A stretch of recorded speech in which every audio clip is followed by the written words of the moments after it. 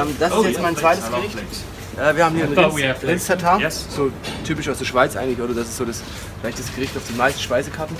Ähm, mit Rettich, mit Malz, vor allem mit Kressen auch jetzt, also mit, mit scharfen Kressen, mit ähm, Rettichkresse, Daikonkresse. Äh, dann haben wir ein bisschen Ampfer dabei, also die Blutampfer, Sauerampfer, Schildampfer, eben diese, alle diese Säurefaktoren, die Kressen.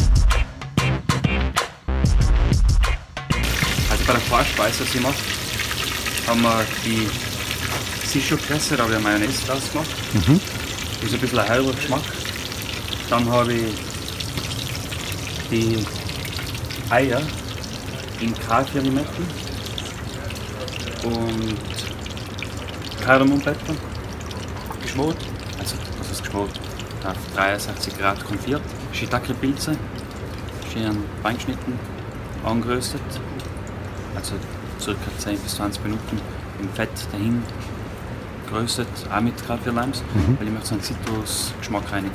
Dass ich nur den ganzen Salat mit, mit dem Öl ganz wenig abmariniert und drinnen hast du nachher das Säurespiel, weil wir haben die Oxalis dabei. Dann kannst du noch ein bisschen die, die Honeycrest dazu tun, dann haben wir ein bisschen Süße dazu. Mhm. Dann die Beans, Bottom Beans, das sind alles, die, die gibt wieder ein bisschen Frische rein. Mhm. Also soll, und drunter haben wir Kohlrabi. Eigentlich soll es ein erfrischender und ein leichter crispy Salat werden versuche halt die, äh, die Bratwurst ein Stück weit zu interpretieren. Okay. Ähm, deswegen habe ich Lammbratwürste gemacht und äh, möchte allerdings nicht einfach nur einen Senf dazu geben, sondern möchte wie so eine Art äh, tote Oma das so nur als klassisches Gericht mhm. dazu ein bisschen mit starkem Senf versetzt. Ähm, allerdings ein bisschen süßer gehalten, damit es nicht zu scharf wird mit Apfel. Mal gucken.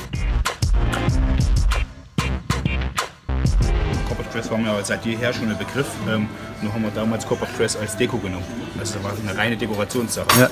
Ähm, durch den Marcel Thiele, der uns dann so ein bisschen, ja, wie soll ich das sagen, ein bisschen weitergebracht hat, ein bisschen erzählt hat, hinterfragt man dann die Sachen, was, was das Produkt eigentlich macht, was das Produkt in ihrem Körper anrichtet.